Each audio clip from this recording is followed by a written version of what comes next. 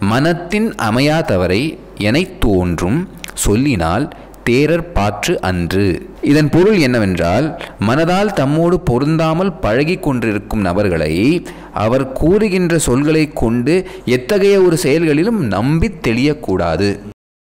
அன்பு தமிழ் நெஞ்சங்களுக்கு வணக்கம். நம்ம வாழ்க்கையில் பல விஷயங்கள் நமக்கு புரியாமல் இருக்கும். சிலதெல்லாம் புதிராகவே இருக்கும். என்ன இப்படியெல்லாம் நடக்கிறதுக்கு வாய்ப்பு உண்டா அப்படின்னு. காங்கிரஸ் அண்ட் திமுகவோட ரிலேஷன்ஷிப் இருக்குது பார்த்தீங்களா அந்த மாதிரி தான் இருக்கும். மக்களுக்கு என்றைக்குமே புரியாது. அவங்க எந்த நிலையில் இருக்காங்க எதுக்காக இது பண்ணுறாங்க உண்மையிலே இவங்க என்னத்தை தான் ஆதரிக்கிறாங்க இவங்க ரெண்டு பேருக்கும் கொள்கை வேறுபாடு இருக்கா இல்லையா அப்படிங்கிற குழப்பம் நிறைய இருக்கும். அதற்கு உதாரணம் தான் இப்போ நடந்த ரீசெண்டான விஷயங்கள். திரு ராஜீவ் காந்தியோட நினைவு நாள் நடந்திருக்கு. திரு ஸ்டாலின் அவர்கள் சென்று மாலை மரியாதை அணிவிச்சார். ஆனால் இன்னொரு பக்கம் என்ன பண்ணியிருக்காரு அப்படின்னா அவரோட கொலையாளிகள் அப்படின்னு சொல்லக்கூடிய கன்விக்டட் கிரிமினல்ஸ் இருக்காங்க பார்த்தீங்களா அவங்கள இவர் விடுவிக்கணும் அப்படின்னு சொல்லிட்டு பிரசிடென்ட்டுக்கு ஒரு லெட்டர் எழுதுறாரு. நீங்கள் வந்துட்டு இவரை விடுவீங்க அப்படின்னு சொல்லிட்டு. ஸோ ரெண்டு விஷயங்கள் பண்ணியிருக்காரு. இப்படி ஒரு உருட்டு அப்படி ஒரு உருட்டு. இதில் நம்ம என்ன புரிஞ்சுக்கலாம் அப்படின்னு பார்த்தீங்கன்னா ஃபஸ்ட்டு காங்கிரஸோட ஸ்டாண்ட் எப்படி இருக்குது அப்படின்னு பார்ப்போம் திரு ராகுல் காந்தி அவர்கள் என்ன சொல்கிறாருன்னா எனக்கு யார் மேலேயும் காழ்ப்புணர்ச்சியோ கோபமோ இல்லை. I have no hatred or anger I forgive them அப்படின்னு சொல்கிறாரு ஸோ இந்த தன்னோட தந்தையோட கொலையாளிகளை அவர் மன்னிச்சிடுறேன் அப்படிங்கிற மாதிரி அவர் சொல்லியிருந்தாரு. இதில் செலக்டிவாக இவங்க ஏன் மன்னிக்கிறாங்க அப்படின்னு புரியல. அதாவது தன் தந்தையை கொண்டவரை மன்னிச்சிடுறாங்க. தேசத்தின் தந்தையை கொண்ட திரு நாத்துராம் கோட்ஸே மேலே இன்னுமே வன்மம் இருக்குது அதே மாதிரி இவங்களோட பாட்டியை கொண்ட அதாவது இந்திரா காந்தியை கொன்ன பஞ்சாபிஸ் மேலே அவங்க எந்த அளவுக்கு ஒரு ஒரு வன்முறையை அவுத்து விட்டாங்க அப்படிங்கிற விஷயம் உங்களுக்கு நல்லாவே தெரியும். அதாவது ஒரு பெரிய மரம் விழும்போது பூமி அதிர தான் செய்யும் அப்படின்னு அந்த ஸ்டேட்மெண்ட் எல்லாம் கூட வித்திருந்தாங்க. ஸோ இது என்ன செலக்டிவாக ஒருத்தரை மன்னிக்கிறது அப்படிங்கிற கேள்வி எழுந்தால் கூட பட் அந்த மன்னிக்கணும் அப்படிங்கிற மனசே பெரிய மனசு. பட் விஷயங்கள் இப்படி இருக்கும்போது திரு கே எஸ் அழகிரி அவர்கள் இவர் யாருன்னு பார்த்தீங்கன்னா தமிழ்நாடு ஸ்டேட்டு பிரசிடென்ட் காங்கிரஸோட தமிழ்நாடு ஸ்டேட் பிரசிடென்ட் அவர் என்ன சொல்றாரு அப்படின்னா நீ மறக்கலாம். ஆனால் நான் மறக்க முடியாது. நான் வந்து அதை மன்னிக்கவே மாட்டோம். காங்கிரஸ் ஒரு கட்சியாக திமுகவோட இந்த முடிவை ஏற்றுக்கவே ஏற்றுக்காது நீங்கள் என்ன சொல்கிறீங்க தமிழர்கள் பாவம் இருபத்தஞ்சு வருஷத்துக்கு மேலே அங்கே ஜெயில் இருந்துட்டாங்க அப்படின்னு. இப்போ நீங்கள் என்ன பண்ணணும்? தமிழ்நாட்டில் இருக்கக்கூடிய ஜெயிலில் இருபத்தஞ்சு வருஷத்துக்கு மேலே இருக்கக்கூடிய எல்லா கான்விக்ஸையும் ரிலீஸ் பண்ணுங்கள் அது என்ன ராஜீவ் காந்தி கொலை வழக்கை மட்டும் ரிலீஸ் பண்ணுறீங்களே அப்படிங்கிற மாதிரி அவர் கேள்வி எழுப்பியிருக்காரு. அதானே இவங்களுக்கு மட்டும் ஒரு ஸ்பெஷல் கவனிப்பு. அப்போ மற்றவங்களாம் எங்கள் தமிழர் கிடையாதா? அவங்க என்ன நைரோபியிலேருந்து வந்திருக்காங்களா? அப்படிங்கிற மாதிரி அவர் ஒரு கேள்வி எழுப்புறாங்க இதே பாருங்க கார்த்திக் சிதம்பரம் அவர்கள். அவர் என்ன சொல்கிறாரு அப்படின்னா இதெல்லாம் ஏற்கவே முடியாதுங்க. நீங்கள் சட்டத்தில் எனக்கு ஒரு ப்ரொவிஷன் காட்டுங்க. ஏதாவது இருபத்தஞ்சு வருஷத்துக்கு மேலே இருந்துட்டாங்க. ஆகையினால நாங்கள் விடுறோம். அப்படிங்கிற மாதிரி சட்டத்தில் நீங்கள் ப்ரொவிஷன் காட்டுங்க. நாங்கள் ஒத்துக்கிறோம் அப்படிங்கிற மாதிரி சொல்கிறாரு அது மட்டும் கிடையாது ராஜீவ் காந்தி அவர்கள் மட்டும் இறக்கலை. அவரோட சேர்ந்து பதினாறு பேர் இழக்கிறாங்க அப்படிங்கிற மாதிரி அவர் சொல்லியிருந்தார். விஜயதாரணி அதே காங்கிரஸை சேர்ந்த விஜயதாரணி அவர்கள் என்ன சொல்றாங்கன்னா இது வந்து வெறும் ராஜீவ் காந்தி அவர்களை மட்டும் பற்றி இல்லை. அங்கே நிறைய பேர் உயிரிழந்தாங்க. அந்த ஃபேமிலிக்கு யார் பதில் சொல்வா? அதே மாதிரி அந்த இன்சிடென்ட்னால இன்னுமே கஷ்டப்பட்டுக்கிட்டு இருக்கிற ஆட்கள் இருக்காங்க. ஒரு உதாரணம் அவங்க சொல்கிறாங்க என்ன அப்படின்னா அனுசியாவோட கேஸ் உங்களுக்கு எல்லாருக்கும் தெரியும். இந்த கேஸில் என்னென்னா இவங்களோட பாட்டின்னு நினைக்கிறேன். அவங்களுக்கு இந்த குண்டில் அடிபட்டு இன்னுமே வந்து லிக்விட் டயட் மட்டும் தான் கொடுக்க முடியும். வேறு எதுவுமே கொடுக்க முடியாது. இவ்வளோ வருஷம் முடிஞ்சு கூட அதுதான் கொடுக்க முடியும். அப்போ அவங்களுக்கு எங்கே எங்கே ஜஸ்டிஸ் கிடைக்குது? அவங்களுக்கு எங்கே மன்னிப்பு கிடைக்குது? அப்படிங்கிற மாதிரி சொல்லியிருந்தாங்க. ஆனால் இந்த தரப்பில் அதாவது இந்த ஏழு பேரோட விடுதலை வேணும் அப்படின்னு சொல்லக்கூடிய தரப்பில் என்ன சொல்கிறாங்க அப்படின்னு பார்த்தீங்கன்னா முப்பது வருஷமாக இருந்துட்டாங்க இதுக்கு மேலே என்ன தண்டனை வேணும் அப்படிங்கிற மாதிரி அவங்க கேட்குறாங்க இது ரெண்டுத்தில் எது சரி அப்படின்னு ஜட்ஜ்மெண்ட் பண்ணுற இடத்துல நம்ம இல்லை. இங்கே ஒரு ஒப்பீனியன் பாஸ் பண்ணுற இடத்துல கூட நமக்கு இல்லை. காரணம் என்ன ஏற்கனவே நம்மளோட ஜஸ்டிஸ் சிஸ்டம் அதை நிறைய டிலே பண்ணோம் நிறைய பிரச்சனை பண்ணோம். ஆகையினால விஷயங்கள் எப்படி இருந்தாலும் இந்த கூட்டணியில் இருக்கக்கூடிய குழப்பத்தை தான். இப்போ அவங்களோட கட்சியோட பிரைம் மினிஸ்டராக இருந்தாங்க. அதாவது அவங்க கட்சியை ரெப்ரசென்ட் பண்ணி பிரைம் மினிஸ்டராக இருந்தாங்க. அவங்க கேஸ் அது அவங்க கோர் இஷ்யூன்னு சொல்லலாம். இப்போ காங்கிரஸுக்கு இது ரொம்பவே முக்கியமான விஷயம். இருந்தாலும் திமுக என்ன பண்ணுறாங்க இது அவங்களோட தனிப்பட்ட கருத்து தனிப்பட்ட முடிவு அப்படின்னு சொல்லி இங்கேருந்து எஸ்கேப் ஆக முடியாது. இந்த அலையன்ஸு இந்த டிசிஷனில் ஸ்டிக் ஆகும். பதினேழு சீட் இவங்களுக்கு கிடச்சிருக்கு. ஸோ அந்த சி அலையன்ஸை விட்டு அவங்க வெளியே வராங்களா இல்லையா அப்படிங்கிற அளவுக்கு நியாயமாக பார்த்தா இந்த டிசிஷன் அஃபெக்ட் பண்ணும். பட் அவங்க அதுக்கு வெளியே வருவாங்களா இல்லையா அப்படின்னு நம்ம வெயிட் பண்ணி தான் பார்க்கணும். இப்போ கவர்னரோட பொசிஷன் என்ன அப்படின்னு பார்த்தீங்கன்னா நம்ம ஊரில். அவர் ஏற்கனவே சொல்லிட்டாரு. இது வந்துட்டு பிரசிடென்ட் கிட்ட அனுப்பிச்சிட்டோம் அப்படின்னு. ஏன்னா கவர்னர் கிட்ட சில பவர்ஸ் இருக்குது அதாவது சில பில்ஸை ரீகன்சிடர் பண்ணுறதுக்கு சில பில்ஸை ரிசர்வ் பண்ணலாம் அவர். அதாவது இந்த சட்டங்கள்லாம் வந்துட்டு பிரசிடென்ட்டோட ஒப்புதல் இருந்தால் மட்டும்தான் அது அமலுக்கு வரும் அப்படிங்கிற மாதிரி ரிசர்வ் பண்ணலாம். அந்த பவர் அவர் இருக்குது அதனால் அவர் பிரசிடென்ட் கிட்ட பாஸ் ஆன் பண்ணிட்டார். ஆனால் இப்படியெல்லாம் நடந்துகிட்டு இருக்கும்போது திரு கி. வீரமணி அவர்கள் என்ன சொல்கிறார் அப்படின்னு பார்த்தீங்கன்னா அதெல்லாம் கிடையாது. ஆர்டிகல் ஒன் சிக்ஸ்டி ஒன் படி ஸ்டேட் கவர்மெண்ட்னால பாடன் பண்ணிட முடியும் அப்படிங்கிற மாதிரி அவர் சொல்லியிருந்தாருங்க. இது வந்துட்டு ஒரு குழப்பத்தை உண்டாக்குது. காங்கிரஸுக்குள்ளேயும் திமுகக்குள்ளேயும். அதை என்ன அவங்களே பண்ண முடியும் அப்படின்னு சொல்லும்போது நீங்கள் ஏன் பண்ண மாட்டேங்கிறீங்க ஆனால் இன்னொரு தரப்பினர் சட்ட வல்லுநர்கள்லாம் என்ன சொல்கிறாங்க சொல்கிறாங்க அப்படின்னா இந்த கேஸில் அது பிரசிடென்ட்னால தான் பண்ண முடியும் அப்படின்னு.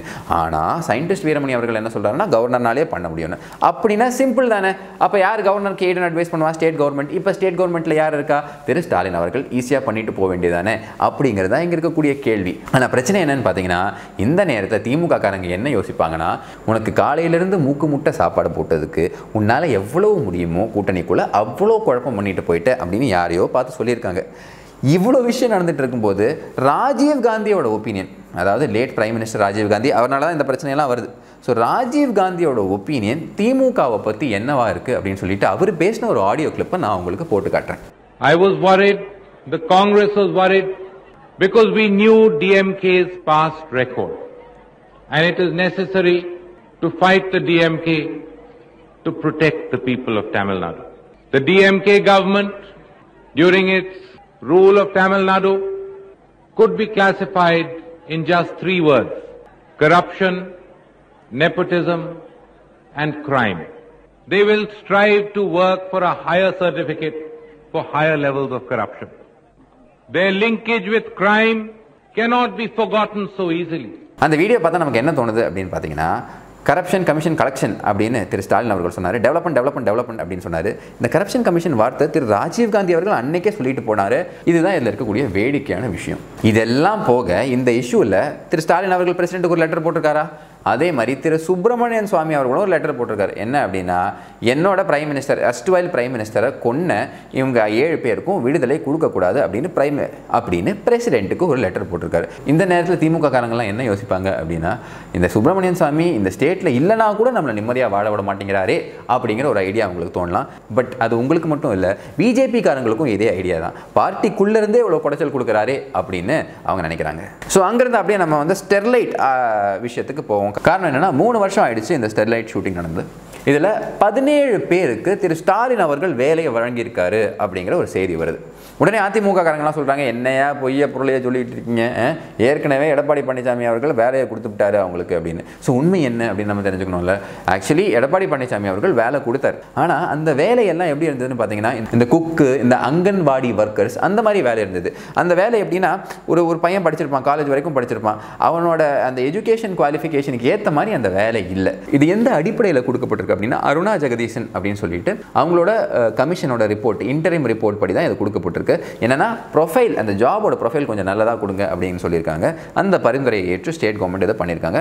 ரொம்பவே வரவேற்கக்கூடிய ஒரு விஷயம். இப்போ திரு ஸ்டாலின் அவர்கள் வந்த பிறகு எல்லாருக்குமே ஜூனியர் அசிஸ்டன்ட் வேலை கொடுத்துருக்காங்க. அதில் பதினாறு பேருக்கு ஜூனியர் அசிஸ்டன்ட் வேலை கொடுத்துட்டு ஒருத்தருக்கு ஜீப் டிரைவர் வேலை கொடுத்துருக்காங்க.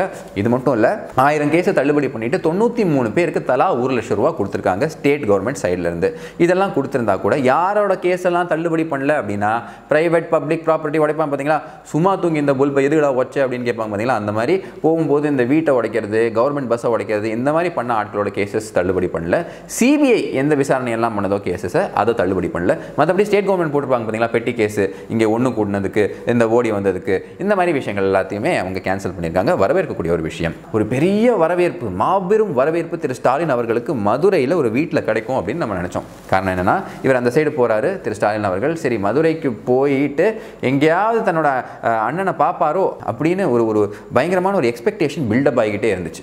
ஆனால் திரு எம் கே ஸ்டாலின் அவர்கள் சிம்பிளாக என்ன சொல்லிட்டாருன்னா நம்மளோட சிஎம் ஆஃப் த ஸ்டேட்டு இப்போ நான் போகிறேன் பார்த்தீங்களா அது கட்சி வேலையாக போகல கவர்மெண்ட் வேலையாக போகிறேன் அதனால் கட்சிக்காரங்க யாருமே என்னை வந்து பார்க்காதீங்க அப்படிங்கிற மாதிரி ஒரு அறிக்கையை அவர் விட்டுட்டு தான் போகிறாரு இந்த நேரத்தில் எல்லாரும் என்ன எக்ஸ்பெக்ட் பண்ணாங்க அப்படின்னா ஒரு மந்தையில் இருந்த இரண்டு ஆடு வெவ்வேறு பாதையில் சென்றன. திரும்பவும் ரெண்டு பேரும் சந்தித்த பின் பேச முடியவில்லையே அப்படிங்கிற மாதிரி சுச்சுவேஷன்லாம் வரும் அப்படின்னு நிறைய பேர் எக்ஸ்பெக்ட் பண்ணாங்க. ஆனால் அதெல்லாம் எதுவும் பண்ணல. இவர் சிம்பிளாக போனார். போயிட்டு அங்கேருந்து கிளம்பி வந்துக்கிட்டே இருந்தார். காரணம் என்னன்னா அவர் இப்போ இந்த நேரத்தில் வெறும் கடமை கடமை கடமை அப்படின்னு தான் வேலை செஞ்சுட்டு இருக்காரு திரு எம் கே ஸ்டாலின் அவர்கள் நம்மளோட சிஎம் ஆஃப் த ஸ்டேட் அதனால் பர்சனல் ஃபீலிங்ஸ்க்கோ கட்சி ஃபீலிங்ஸ்க்கோ இப்போ இம்பார்ட்டன்ஸ் கொடுக்கறதுக்கு நேரம் இல்லை அப்படின்னு அவர் கடந்து போகிறாருங்க ஆனால் பாருங்கள் உங்களுக்கு டக்கு டக்குன்னு மனமாற்றம் வேணுமா? நீங்கள் என்ன பண்ணணும்னா அரசியலில் குதிச்சிடணும். காரணம் என்னன்னா இவங்க ரெண்டு பேரும் ஒரு காலத்தில் எப்படி இருந்தாங்க அப்படின்னா வருங்கால முதல்வர் தான் நிரந்தர வருங்கால முதல்வர் தான் அப்படின்னு எம் கே அழகிரி அவர்கள் சொன்னார். ஆனால் ரிசல்ட் வந்த உடனே என் தம்பிக்கு வாழ்த்து தெரிவிக்கிறேன் அப்படின்னு சொல்கிறாரு அவர் வந்துட்டு ஒரு பேட்டியில் என் அண்ணன் எனக்கு ரொம்ப பிடிக்கும் அப்படின்னு சொல்கிறாரு இந்த மாதிரி மனமாற்றம்லாம் எப்படி சட்டுன்னு வருது அப்படின்னு நமக்கு புரியல. இதனால தான் அரசியலில் குதிக்கிறது அவ்வளோ தப்பான விஷயம் இல்லை அப்படின்னு நான் சொல்கிறேன் காரணம் என்னென்னா no permanent friend no permanent enemy காலத்துக்கு ஏற்ற மாதிரி போயிட்டே இருக்க வேண்டியதுதான். ஆனால் எல்லாமே திரு ஸ்டாலின் அவர்களுக்கு பிளான் பண்ண மாதிரி நடக்குதா அப்படின்னா கிடையாது. ஏன்னா கடலூர் ஹாஸ்பிட்டலில் ஒரு சம்பவம் நடக்குது. என்ன அப்படின்னா ஒரு பெண்மணி ரொம்பவே அழுது கதறி ஒரு வீடியோ போடுறாங்க. அதை நாங்கள் ட்விட்டரில் எடுத்து ஷேர் பண்ணோம். என்னோட பர்சனல் ஹேண்டில் நான் எடுத்து ஷேர் பண்ணேன். அது அது பயங்கர வைரலாக போயிட்டு இருந்தது அந்த வீடியோ அது என்ன ஆகுது அப்படின்னா அந்த லேடி அந்த அவர் அவங்க ஹஸ்பண்டோட ஆக்சிஜன் சிலிண்டர் வென்டிலேட்டர் அதை எடுத்துகிட்டு போயிட்டாங்க. ஒரு மருத்துவர் வந்து ஒருத்தர் ஹைட்டாக வந்து எடுத்துகிட்டு போயிட்டாருங்க. அவரால் மூச்சு விட முடியல அப்படின்னு சொல்லிட்டும் எடுத்துகிட்டு போயிட்டாருங்க அப்படிங்கிற மாதிரி அவங்க ஒரு கம்ப்ளைண்ட் வச்சுருந்தாங்க. நாங்கள் அதை சொன்னோம். இது என்ன பிரச்சனை? இது என்னென்ன விசாரிக்கணும் அப்படின்னு சொல்லியிருந்தோம். அதுக்கு வேண்டி என்ன பண்ணியிருக்காங்கன்னா இப்போ சுகாதார இணை இயக்குனரோட தலைமையில் ஒரு விசாரணை போட்டிருக்காங்க. என்ன நடந்துச்சு எப்படின்னு. பட் ஹாஸ்பிட்டல் தரப்பில் என்ன சொன்னாங்க அப்படின்னா நாங்கள் வந்துட்டு ஒன்றும் இல்லைங்க ஆக்சிஜன் ரீஃபில் பண்ணுறதுக்கு எடுத்துகிட்டு போனோம் அப்படிங்கிற மாதிரி சொல்லியிருந்தாங்க. அதுக்குன்னு ஒரு ஸ்டாண்டர்ட் ஆப்ரேட்டிங் ப்ரொசீஜர் இருக்கும். அதை விட்டுட்டு ஒரு பேஷண்ட் சஃபர் பண்ணிக்கிட்டு இருக்கும்போது எப்படி போகிறீங்க அப்படிங்கிறதான் இங்கே கேள்வி. எயிட்டி பர்சன்ட் தொட்டு இருக்குது அந்த நேரத்தில் கொண்டு போயிருக்கீங்க. வந்து பார்க்கும்போது இறந்து போயிட்டார். ஸோ இந்த மாதிரி விஷயங்கள் நடக்கக்கூடாது அப்படின்னு நிறைய பேர் இந்த இணையதளத்தில் ப்ரெஷரைஸ் பண்ணும்போது இந்த கேஸை திரு எடப்பாடி பழனிசாமி அவர்கள் எடுக்கிறார். அவர் ரொம்பவே வேதனை தெரிவித்து இதில் என்ன நடந்தது? அப்படிங்கிற விஷயத்த என்கொயர் பண்ணுங்க அப்படின்னு சொல்கிறாரு ஸோ இந்த மாதிரி கேசஸ் நடக்கக்கூடாது. ஏதாவது மெத்தனை போக்கு இருந்தால் உடனே அதை கண்டுபிடிச்சி அவங்களுக்கு தக்க தண்டனை கொடுக்கணும். காரணம் என்னன்னா இது மக்களோட உயிர் சம்பந்தமான ஒரு விஷயம். அதே மாதிரி இவரோட அமைச்சரவையில் இருக்கக்கூடிய அன்பில் மகேஷ் பொய்யாமொழி அவர்கள் எஜுகேஷன் மினிஸ்டர் நம்ம அவரை பற்றி பேசியிருந்தோம். செக்ரட்டரி லெவல் மீட்டிங்க்கு நம்ம செக்ரட்டரியை போடாமல் விட்டுட்டாரு. அதில் வந்து வந்துட்டு அவர் என்ன சொன்னார் அப்படின்னு பார்த்தீங்கன்னா எங்களை அழைக்கலை அப்படிங்கிற ஒரு காரணம் சொல்லியிருந்தார். அதே மாதிரி இன்னொரு விஷயமும் பண்ணியிருந்தார். என்ன அப்படின்னு பார்த்தீங்கன்னா டிஎம்கே ஆஃபீஸில் municipal commissioner police commissioner collector மூணு பேரையும் மீட் பண்ணுறாரு அவங்க ப்ரோட்டோகால் படி போகக்கூடாது. அது தப்பான விஷயம். அவங்க நியூட்ரலாக வேலை செய்யணும் அப்படின்னு நம்ம சொல்லியிருந்தோம். அதே மாதிரி அந்த வரிசையில் திரு சக்கரபாணி அவர்கள் இவருமே இவர் மினிஸ்டர் இவருமே வந்துட்டு என்ன பண்ணியிருக்காருன்னா எல்லாரு கூடயும் மீட்டிங் நடத்துறாரு. டிஎம்கே ஆஃபீஸில் நடத்துறாரு. டாப் அஃபீஷியல்ஸ் எல்லாம் வந்து கட்சி ஆஃபீஸில் மீட் பண்ணுறாங்க இது வன்மையாக கண்டிக்கணும். ஒரு இடத்துல தெரியாமல் நடந்துச்சு. பேட்டர்ன் ஆகக்கூடாது அப்போ சிவில் சர்வீசஸோட நியூட்ரலிட்டி பாதிக்கப்படும். அதனால் ஸ்டேட்டுக்கு பயங்கரமான மோசமான ரிப்பர்கஷன்ஸ் இருக்கிறதுக்கு உண்டான வாய்ப்புகள் உண்டு. இதை அவாய்ட் பண்ணணும். அவாய்ட் பண்ணணும் அப்படின்னு சொல்லும்போது எல்லாரும் அவாய்ட் பண்ணிட்டு எஸ்கேப் ஆகக்கூடிய கட்சி எந்த கட்சின்னு பார்த்தீங்கன்னா மக்கள் நீதி மையம். அதில் மீதி இருக்கக்கூடிய திரு கமலஹாசன் ஒற்றையரா சிங்கிள்ஸ்னு சொல்ல வரலங்க. தனியாக ஒரு முயற்சி எடுத்து ஒருத்தரை பாராட்டுறாரு. யாருன்னு பார்த்தீங்கன்னா பக்கத்தில் ஸ்டேட்டில் இருக்கக்கூடிய சஹாவு அப்படின்னு தான் அவர் அட்ரஸே பண்ணுறாரு நம்மளோட பினராயி விஜயன் அவர்கள் ஜெயிச்சதுக்கு இவர் ஃபோன் பண்ணி வாழ்த்து தெரிவிச்சிருக்காரு. உங்கள் ஆட்சியில் அடுத்த அஞ்சு வருஷம் கேரளா எங்கேயோ போயிடும் அப்படிங்கிற மாதிரியெல்லாம் அவர் பேசியிருக்காரு. அவர் என்ன சொல்கிறாருன்னா என்னோட உத்தேச அரசியல் பண்ணக்கூடிய ஒரே ஆள் நீங்கள் தான் அப்படிங்கிற மாதிரி பினராயி விஜயன் அவர்களை பார்த்து சொல்கிறாரு ஸோ இந்த உத்தேசிய அரசியல்னு சொல்லும்போது இதை கொஞ்சம் முன்னாடியே சொல்லியிருக்கலாமே அப்படின்னு இங்கே இருக்கக்கூடிய கம்யூனிஸ்ட் ஃபீல் பண்ணுறாங்க காரணம் என்னன்னா அவர் கொள்கை என்னன்னு யாருக்குமே இது வரைக்கும் புரியல. ஆத்தாடி கம்யூனிஸ்ட் கொள்கை தான் உங்களுதா? அப்படின்னு சொல்லிட்டு நிறைய பேருக்கு டவுட் இருந்தது. அது தெல்ல தெளிவாக சொல்லியிருந்தீங்க அப்படின்னா எல்லாருமே சேர்ந்து டிஎம்கே கூட்டணியாகவே இருந்துட்டு போயிருக்கலாமே அப்படிங்கிறது தான் எங்களோட கருத்து. ஆனால் பாருங்க திரு கமலஹாசன் அவர்களோட மனசை பாருங்க. இந்த நேரத்துலையும் தன் கட்சியில் யாருமே பாக்கி இல்லை ஸ்னேகன் மட்டும் இருக்காரு அப்படிங்கிற ஒரு நிலைமையில் இருக்கும்போது கூட பக்கத்து மாநிலம் அண்டை மாநிலமாக இருக்கக்கூடிய கேரளாவில் இருக்கக்கூடிய ஒரு கட்சி தலைவரை ஃபோன் பண்ணி விஷ் பண்ணுறாரு அதுதான் அவரோட பெருந்தன்மை அப்படின்னு உலகநாயகனோட ரசிகர்கள் எல்லாம் மாறுதட்டி கொள்றாங்க. திமுக கூட்டணி கட்சியில் இருக்கவங்க இப்போ எந்த நிலைமையில் இருக்காங்க அப்படின்னு பார்த்தீங்கன்னா என்ன பேசுகிறாங்க ஏது பேசுகிறாங்கன்னு தெரியாமல் பேசிட்டு இருக்காரு. திரு தொல் திருமாவளவன் என்ன சொல்கிறாருன்னா கேரளாவில் திரு ராதாகிருஷ்ணன் அவர்களை தேவசம் போர்டோட ஹெட்டாக போட்டிருக்காங்க மினிஸ்டராக போட்டிருக்காங்க. நம்மளோட அறநிலைத்துறை இருக்குது பார்த்தீங்களா அதுதான் அங்கே தேவசம் போர்டு அப்படிம்பாங்க. இதில் இவர் என்ன சொல்கிறாரு அப்படின்னு பார்த்தீங்கன்னா பட்டியலினத்தை சார்ந்த திரு ராதாகிருஷ்ணன் அவர்களை தேவசம் போர்டுக்கு போட்டிருக்காரு. ரொம்ப பெரிய விஷயம்.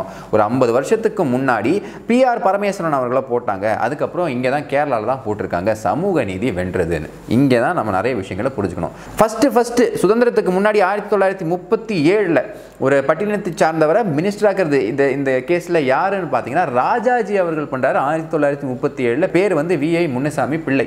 இவரை தான் ஃபஸ்ட்டு ஃபஸ்ட்டு ஆக்குறாங்க. அதே மாதிரி காமராஜர் அவர்கள் இந்த பிஆர் பரமேஸ்வரன் அவர்கள் ஆயிரத்தி தொள்ளாயிரத்தி ஐம்பத்தி ரெண்டில் ஆகிறது யாருன்னு பார்த்தீங்கன்னா காமராஜர் அவர்கள் தான் இதை வந்து ஆக்குறாங்க. அதே மாதிரி திமுக இவங்க கூட்டணியிலேருந்து திமுக இது வரைக்கும் எந்த பட்டியலினத்து மக்களையுமே ஆக்கலை. எது? அறநிலைத்துறை அமைச்சராக ஆக்கவே இல்லை.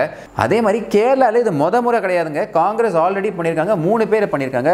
வெள்ளாய் ஈச்சரன் கே கே பாலகிருஷ்ணன் அதே மாதிரி தாமோதரன் கலாச்சேரி இவங்க ஆல்ரெடி மூணு பேர். காங்கிரஸ் வந்து பட்டியலினத்தை சார்ந்த இவங்களை ஆல்ரெடி தேவசம் போர்டில் மினிஸ்டராக போட்டிருக்காங்க. அதே மாதிரி கம்யூனிஸ்ட் இதுக்கு முன்னாடி ஒரு தடவை போட்டிருக்காங்க. கொஞ்சம் வரலாறு இவரை படிச்சுட்டு பேசினா பெட்டராக இருக்கும் அப்படிங்கிறது எங்களோட தாழ்மையான வேண்டுகோள். திமுக இது வரைக்கும் போடவே இல்லை. அதுதான் முக்கியமான விஷயம். ஜெயலலிதா மேடம் கூட என்ன பண்ணாங்க அப்படின்னு பார்த்தீங்கன்னா ஸ்பீக்கரை ஒரு பட்டினத்தை சார்ந்த திரு தனபால் அவர்களை கொண்டு வந்து போட்டாங்க. பட் இந்த சமூக நீதி சமூக நீதியின் போர்வாள் அப்படின்னு சொல்லக்கூடிய திமுக எத்தனை பட்டினத்தை சார்ந்தவங்களை மினிஸ்டராக போட்டிருக்கு அப்படிங்கிறது தான் இங்கே முக்கியமான கேள்வி. அதுக்கு திரு தொழில் திருமாவளவன் அவர்கள் பதில் சொல்ல மாட்டார். நீதி கட்சியை பற்றி பேசுகிறாரு நீதி கட்சி என்ன பண்ணியிருக்கு? எத்தனை தடவை ஆன்டி ஷெடியூல் காஸ்ட் ஸ்பீச் எல்லாம் கொடுத்துருக்குன்னு உங்களுக்கு தெரியும். Uh, பிட்டி தியாகராய் அவர்கள் என்ன சொன்னார் அப்படின்னா uh, சென்னையில் இருக்கக்கூடிய ஷெட்யூல் காஸ்ட் மக்களை ஊருக்கு வெளியே கொண்டு போய் வைக்கணும் அப்படின்னு சொன்னவர் பிட்டி தியாகராயா. இந்த மாதிரி அவர் சொல்லிட்டு இருக்கும்போது இதை வன்மையாக எதிர்த்தவர் யாருன்னு பார்த்தீங்கன்னா திரு எம் சி ராஜா அவர்கள். எம் சி ராஜாவை பற்றி நீங்கள் எவ்வளோ விஷயங்கள் எங்கள் பொதுவில் பேசியிருக்கீங்க அவருக்கு எவ்வளோ பப்ளிசிட்டி கொடுத்துருக்கீங்க நீங்கள் வந்து திரு அம்பேத்கர் அவர்களை மட்டும் ஒரு சிம்பிளாக யூஸ் பண்ணுறதுக்கு பின்னாடி இருக்கிற அரசியல் நிறைய பேருக்கு தெரியாதா? இதுதான் இவங்க இருக்கக்கூடிய இவங்க பண்ணக்கூடிய வந்துட்டு இந்த என்ன சொல்கிறது ஒரு ஒரு லோ ரங் அரசியல்னு நம்ம சொல்லலாம். காரணம் என்னன்னா பட்டியலினத்துக்கு மக்களுக்கு வேண்டி நிறைய பேர் கஷ்டப்பட்டிருக்காங்க. அயோத்திதாஸ் பண்டித் இருக்காரு எம் சி ராஜா இருக்காங்க நிறைய வாரியர்ஸ் இருக்காங்க. அது எல்லாத்தையும் தள்ளி வச்சு ஒரு சிம்பிள் இருந்தால் அதை வச்சு நம்ம யூஸ் பண்ணிக்கலாம் அப்படின்னு அவரை பற்றி மட்டும் பேசிட்டு இருக்கிற திரு தொல் திருமாவளவன் அவர்கள் ஒரு அவேர்னஸ் இவங்களை பற்றி கொடுத்தா பெட்டராக இருக்கும் அப்படிங்கிறது எங்களோட கருத்து. ஸோ இதெல்லாம் வந்து நீதி கட்சியில் ஆல்ரெடி பண்ணியிருக்காங்க. காரணம் என்னன்னா அங்கே மேக்ஸிமம் வந்து நிலச்சுவாந்தார்கள் தான் இருந்தாங்க. ஷெட்யூல் காஸ்ட் மக்களுக்கு வேண்டி பேசுகிறேன் அப்படின்னு சொல்லிட்டு அவங்கள ஒதுக்கி வைக்கிற வேலைகள்லாம் அவங்க பண்ணாங்க. அது இவருக்கு நல்லாவே தெரியும். பட் இருந்தாலும் ஒரு ஃபால்ஸ் ப்ராப்பகேண்டாக்கு வேண்டி கொண்டு வந்து வைக்கிறாங்க. ஃபால்ஸ் ப்ராப்பகேண்டா பப்ளிசிட்டி அப்படின்லாம் பேசும்போது நமக்கு என்ன தெரியுதுன்னா திரு உதயநிதி ஸ்டாலின் அவர்கள் இப்போ ரீசெண்டாக எல்லா சேனல்ஸும் என்ன போட்டாங்கன்னா ஒரு டாய்லெட்டை போய் விசிட் பண்ண விஷயங்களை போட்டாங்க. ரெண்டாயிரத்தி பதினாலு திரு மோடி அவர்கள் ஸ்வச் பாரத் கேம்பெயினை கொண்டு வந்து நிறைய மினிஸ்டர்ஸ் போய் டாய்லெட்டை க்ளீன் பண்ணி இன்றைக்குமே நிறைய பிஜேபி மினிஸ்டர்ஸ் போய் டாய்லெட்டை க்ளீன் பண்ணும்போது அது பெருசாக இங்கே இருக்க மீடியா பேசல. அது வந்து ஒரு ஐவாஷாக காட்டினாங்க. ஆனால் இப்போ என்ன சொல்கிறாங்க அப்படின்னா இந்த மாதிரி ஒரு எம்எல்ஏவா ஒரு டாய்லெட்டை போய் விசிட் பண்ணாங்களா? ஆஹா நான் இந்த மாதிரி பார்த்ததே இல்லையே அப்படிங்கிற அளவுக்கு பேசுகிறாங்க இந்த சேப்பாக்கு தொகுதி காலகாலமாக வருஷ வருஷமாக இவங்க கூட தான் இருக்குது யார்கிட்ட இருக்குது டிஎம்கே கிட்ட தான் இருக்குது அவங்களுக்கு எம்எல்ஏ லேட்னு இருக்கும். அதாவது எம்எல்ஏ நிதி ஒன்று இருக்கும். அந்த local area development fund use பண்ணாலே இவங்க இதெல்லாத்தையும் இங்கே கிளியர் பண்ணியிருக்கலாம் ஆனால் அதை கூட யூஸ் பண்ணாமல் இத்தனை வருஷமாக இருந்து இப்போ இவருக்கு ஒரு ஆக்டிவ் ப்ராப்பகேண்டாக்கு வேண்டி இது பண்ணப்பட்டிருக்கு அப்படின்னு நிறைய பேர் சொன்னால் கூட இளையபாரதம் வாயிலாக நாங்கள் என்ன சொல்கிறோம் அப்படின்னா மக்களுக்கு நல்லது நடந்தால் சரி அப்படிங்கிறது தான் எங்களோட தாழ்மையான கருத்து இந்த நேரத்தில். ஆனால் மக்களுக்கு நல்லது அப்படின்னு சொல்லும்போது தான் இன்னொரு விஷயம் வருது. என்ன அப்படின்னு பார்த்தீங்கன்னா இந்த கரண்ட் பில் இருக்குது பார்த்தீங்களா? கொஞ்ச நாளாகவே லைட்டாக மழை பெஞ்சு கொஞ்சம் காதடிச்சா கரண்ட் ஆஃப் பண்ணிடுறாங்க. அந்த ஒரு தலைவலி நிறைய இடத்துல இருக்குது ஸோ அது இல்லாமல் பார்த்துக்கணும். இந்த ரூலிங் கவர்மெண்ட் இப்போ இந்த எலக்ட்ரிசிட்டி போர்டு என்ன பண்ணுது அப்படின்னா அட்வான்ஸ் எல்லாம் கலெக்ட் பண்ணுது. இந்த காலகட்டத்தில் எலக்ட்ரிசிட்டி பில்லே கலெக்ட் பண்ணக்கூடாது அப்படின்னு தான் எல்லாருமே சொல்கிறாங்க ஆனால் வந்து எலக்ட்ரிசிட்டி பில் இல்லாமல் அட்வான்ஸ் வேறு நிறைய இடத்துல கரெக்ட் பண்ணுது. இது ஏன் இப்போ பண்ணுறீங்க காரணம் என்ன திரு ஸ்டாலின் அவர்கள் போன வருஷம் இதே டைம் கொரோனா பாதிப்பு இருக்கும்போது என்ன சொன்னார் அப்படின்னா எலக்ட்ரிசிட்டி பில் மக்கள் எப்படி கட்டுவாங்க? அவங்களே கஷ்டத்தில் இருக்காங்க.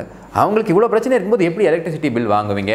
அப்படின்னு கேள்வி கேட்டவர் ஒரு கோடி ரூபா கொடுப்பீங்க அப்படின்னு கேள்வி கேட்டவர் இந்த நேரத்தில் கொஞ்சம் இந்த விஷயத்த பண்ண முடியாமல் ஸ்டேட் ஃபைனான்சஸில் பிரச்சனை இருக்கிறனால பண்ண முடியாமல் கஷ்டப்படுறாரோ அப்படிங்கிற ஒரு கவலை எங்களுக்கு இருக்குது பதவி நிதியாக நாங்கள் என்ன சொல்ல விரும்புகிறோம் அப்படின்னு பார்த்தீங்கன்னா தீஸ் ஆர் டஃப் டைம்ஸ் இப்போ பிளாக் ஃபங்கஸ் வேறு வந்து எல்லாரையும் பயம்படுத்திக்கிட்டு இருக்கு. அதோட அட்வான்ஸ்டு ஃபார்ம் தான் ஒயிட் ஃபங்கஸ்னு ஒன்று இப்போ வந்திருக்கு. இந்த ஒயிட் ஃபங்கஸ் இந்த பிளாக் ஃபங்கஸை விட டேஞ்சரஸாக இருக்குது இப்போ பிளாக் ஃபங்கஸ் மேக்ஸிமம் யார் அஃபெக்ட் பண்ணுது அப்படின்னு பார்த்தீங்கன்னா இந்த டயாபெட்டிக்ஸ் இருக்கவங்க அவங்க கொஞ்சம் ரொம்பவே கேர்ஃபுல்லாக இருக்கணும். இந்த ஸ்டெராய்ட்ஸ் எடுத்துக்கிறவங்க அவங்களுக்கு ரொம்பவே கேர்ஃபுல்லாக இருந்துக்கணும். அது வந்து மெடிக்கல் ரீசன்ஸ்க்காக எடுத்தாலும் சரி நீங்கள் பாடி பில்டிங் எல்லாம் ஸ்போர்ட்ஸ் ஏதாவது பண்ணுறீங்க அதுக்காக எடுத்தாலும் சரி உங்களோட சசப்டிபிலிட்டி இந்த டிசீஸ்க்கு கொஞ்சம் ஜாஸ்தியாக இருக்கும் அப்படிங்கிற மாதிரி சொல்லப்படுது. அதே போல் இன்னொரு விஷயமும் இருக்குது இது தொற்று நோய் கிடையாது. இது பரவாது. உங்களுக்கு கொரோனா வந்துருச்சுன்னா அந்த வீக்கெண்ட் இம்யூன் சிஸ்டமில் இது உங்களை அஃபெக்ட் பண்ணுறதுக்கு சான்சஸ் இருக்கே தவிர இது தொற்று நோய் கிடையாது. அதாவது பிளாக் ஃபங்கஸ் அப்படிங்கிறது தொற்று நோய் கிடையாது அப்படின்னு சொல்லி சொல்லியிருக்காங்க. பட் இருந்தாலும் ரொம்பவே கேர்ஃபுல்லாக இருக்கணும். நம்மளை சுற்றி யாராவது சர்க்கரை நோயால் பாதிக்கப்பட்டிருக்காங்க அப்படின்னா இன்னும் கொஞ்சம் சேஃபாக நம்ம அவங்கள பார்த்துக்கணும். அப்படிங்கிற கருத்தோட உங்ககிட்ட இருந்து விடைபெறேன். இணைந்ததுக்கு நன்றி. வணக்கம். வந்தே மாத்திரம் ஜெயஹிந்த் எத்தனை காலந்தான் ஏமாற்றுவார் இந்த நாட்டிலே?